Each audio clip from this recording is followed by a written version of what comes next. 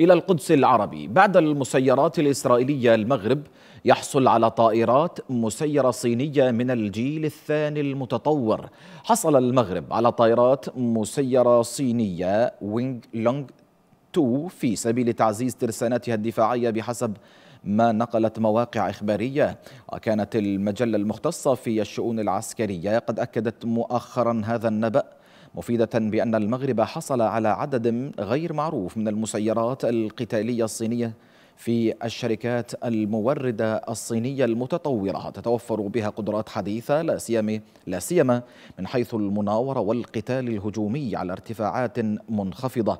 وتمتلك هذه الطائرات المسيرة خاصية تقنية هجومية متميزة. من خلال قدرتها على حمل صواريخ يصل عددها إلى 12 صاروخا. في حين يمكن أن تصل سرعتها القصوى إلى 370 كيلو مترا في الساعة.